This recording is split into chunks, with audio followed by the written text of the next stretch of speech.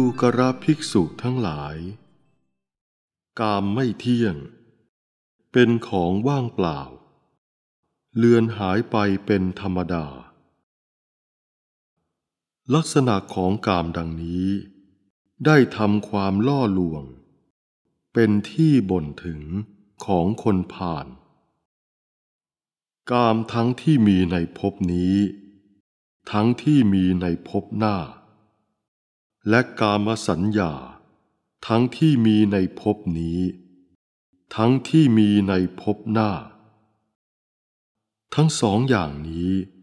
เป็นบ่วงแห่งมาร เป็นแดนแห่งมาร เป็นเหยื่อแห่งมาร เป็นที่หากินของมาร ในกามนี้ย่อมมีอกุศลลามกเหล่านี้ เกิดที่ใจคือ อภิชาบ้าง พยาบาทบ้าง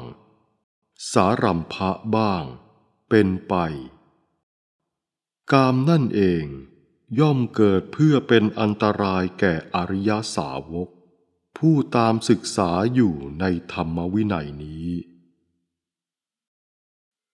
ดูกระภิกษุทั้งหลาย อริยสาวก ย่อมพิจารณาเห็นในเรื่องกามนั้น ดังนี้ว่า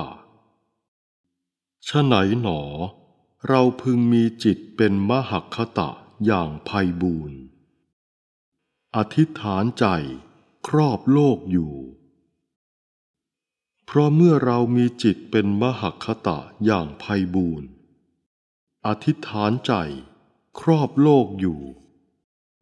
อกุศลลามกเกิดที่ใจ ได้แก่ อภิชาบ้าง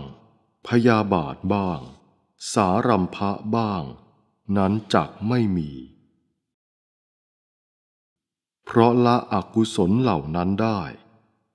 จิตของเราที่ไม่เล็กน้อยนั่นแหละ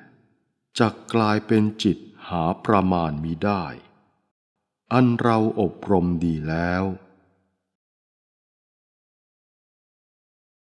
เมื่ออริยสาวกนั้นปฏิบัติแล้วอย่างนี้ เป็นผู้มากด้วยปฏิปทานั้นอยู่ จิตย่อมผ่องใสในอายตนะ เมื่อมีความผ่องใสก็จะเข้าถึงอาเนนชะสมาบัติ หรือจะน้อมใจไปในปัญญาได้ ในปัจจุบัน เมื่อตายไป ข้อที่วิญญาณอันจะเป็นไปในภพนั้นๆ พึงเป็นวิญญาณ เข้าถึงสภาพหาความหวั่นไหวมิได้ นั่นเป็นฐานะที่มีได้ ดูกระภิกษุทั้งหลาย นี้เราเรียกว่า ปฏิปทา มีอาเนนชะสมาบัติเป็นที่สบายข้อที่หนึ่ง